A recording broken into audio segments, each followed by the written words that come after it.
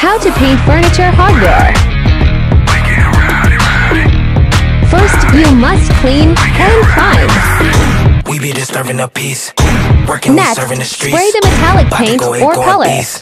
Bang, bang, leave you sleep. And finally, never skip the top coat.